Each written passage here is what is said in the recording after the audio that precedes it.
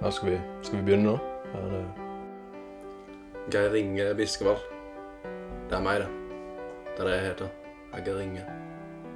Det er mange, det er mange som har hørt om, eh, om høydeskrekk.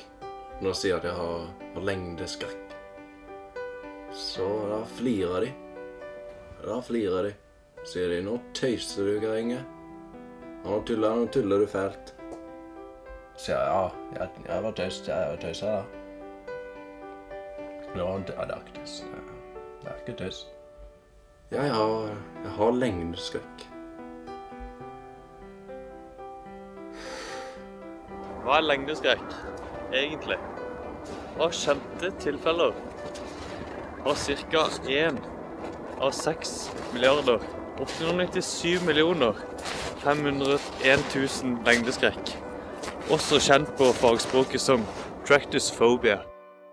Ser du har en hjelm der. eh, Hvorfor bruker du den? Jeg har Jeg må Jeg har funnet at jeg, jeg burde ha hjelm. Jeg trenger Jeg trenger ofte hjelm. Jeg ser jo Jeg må jo se ned, som regel. For ikke å å møte distansen i hvite.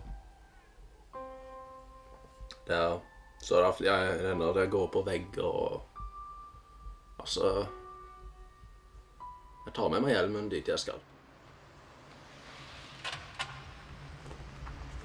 Nå skal Geir Ingar sin uh, ukentlige time med psykologen sin.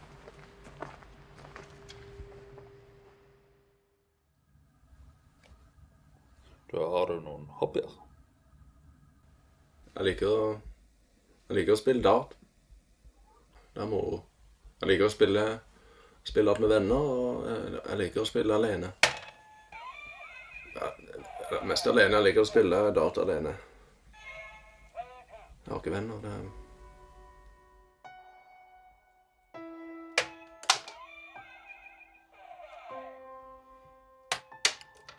Ja, men uh, Geir du, du sliter jo litt med det her lengden. Hvordan, eh, hvordan er det med f.eks. høyde, da? Jeg har ikke, jeg har ikke noe problem med høyder. Er, jeg liker å bade. Jeg liker å hoppe i vann fra høyder. Er, høyder går fint. Det er, det er lengder. Det er, det er, det er lengder som jeg har. Ja, jeg, jeg tror at du har veldig store problemer med den her lengdeskrekken som jeg ikke akkurat kan, kan gjøre noe særlig med. Det, det, beste vi gjør, er at jeg skriver eh, ut en liten ting her og henviser deg til en eh, ekspert på det her feltet. Og, eh, og da prøver jeg å arrangere et lite møte med han, da.